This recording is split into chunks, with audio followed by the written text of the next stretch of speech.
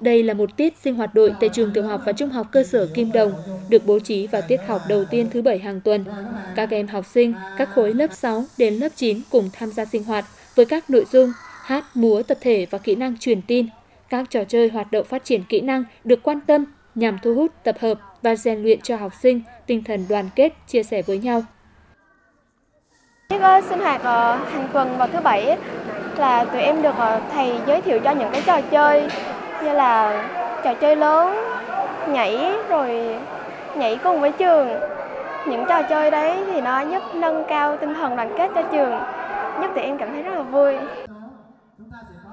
Gắn bó với phong trào đội nhiều năm, đặc biệt ở ngôi trường có hơn 85% học sinh là đồng bào dân tộc thiểu số. Thầy Trương Công Hương đã có nhiều sáng kiến trong triển khai hoạt động đội để thu hút các em tham gia như triển khai công tác kết nghĩa giữa các tri đội, tạo cơ hội cho các em thiếu nhi học hỏi kinh nghiệm và giúp đỡ lẫn nhau, triển khai mô hình đàn gà cho em để gây quỹ giúp đỡ học sinh có hoàn cảnh khó khăn, khuyến khích tinh thần học tập và rèn luyện của học sinh bằng hình thức tuyên dương trước liên đội, thay đổi hình thức sinh hoạt chuyên đề thông qua các hoạt động ngoại khóa, thể thao, trải nghiệm, mở lớp dạy võ miễn phí cho học sinh, qua đó động viên khuyến khích và kịp thời giúp đỡ các em có hoàn cảnh khó khăn.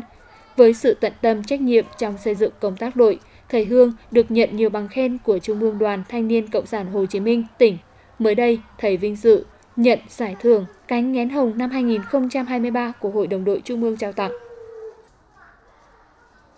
Trường tiểu học và trung học cơ sở Kim Đồng thì các em học sinh là người đồng bào dân tộc thiểu số chiếm tỷ lệ tương đối cao cho nên là Ờ, liên đội ờ, tăng cường các hoạt động văn hóa văn nghệ thể dục thể thao. Ờ, các hoạt động vui chơi nhiều hơn là các hoạt động về nghi thức đội. Nghi thức đội có tổ chức nhưng mà đề cao hơn các hoạt động phong trào. Mục đích chính là lôi cuốn vận động thu hút các em đến trường. Qua đó tạo cho các em cái động lực niềm tin và à, yêu muốn đến trường hơn gắn bó với trường với lớp hơn. Thầy Trương Công Hương ấy là một thầy mà tổng đốc đội trẻ năng nổ và đặc biệt nhất là thầy đã từng công tác duy nhất tại trường. Do vậy vấn đề tâm huyết của thầy không những là cái điểm sáng của công tác đội của trường mà thầy gần như là điểm sáng duy nhất của huyện Đắk Bơ về công tác đội. Do vậy mà trường cũng rất là may mắn khi có thầy công tác ở cái mảng công tác đội. Chính vì thế mà ở một cái vùng khó tuy nhiên công tác đội của trường luôn luôn ở đứng là top đầu của huyện thì cái này chính thức là nhờ cái à, sự đóng góp cái tâm huyết của thầy Trương Công Hương trong thời gian vừa qua. Cùng với vai trò là tổng phụ trách đội, thầy Trương Công Hương còn là một giáo viên dạy môn lịch sử cho các em học sinh.